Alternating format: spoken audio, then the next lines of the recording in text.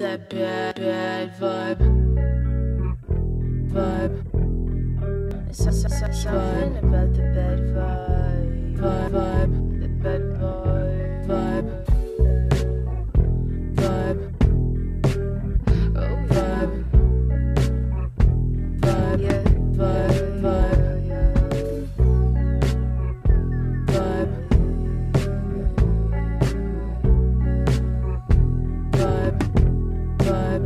It's something about that bad vibe. It's a killer towards the high.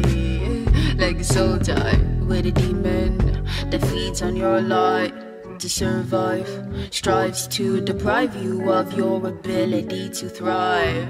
I don't wanna be a wise guy, but my spidey sense tells me you're always on the fence when people bring up relationships that exist only in past tense. Bullshit. When they say no offense, but the drama has already commenced. Don't you really just hate that it's a dead? Sad pain bred from the hole in the ass. And only gets a pass cause their dad grows many on trees. And he likes to watch porn. The shows honey licking the flower from a bee. Or the tapes where the thotties get loads of slurp slurpees on their knees. He says to you, well bitch, really believe? You were born without the planting of my seed. And your mommy, I am your dad, dad. Nerf guns go blah blah. Shots in the dome, foam, bullets make the slime go sled splat. And you cry like a bread bread. Always wanna come around me like a nat nat. Family meeting. Let's sit and have a chat. I think I deserve a pat on the back. It's the patriarch. I wanna make the mood around here just a bit more dark next time the neighbor dog barks. Slit his throat. So the whole hood know we came to make a permanent mark.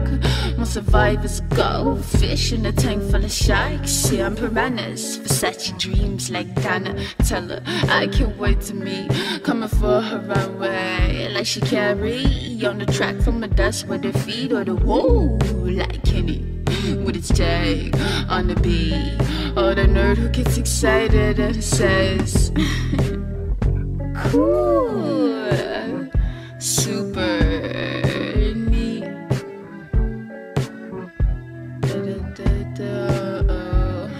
There's something about that bad vibe. It's a killer to force to hide. Yeah, like a soul tie with a demon that feeds on your light to survive strives to deprive you of your ability to thrive. That bad vibe.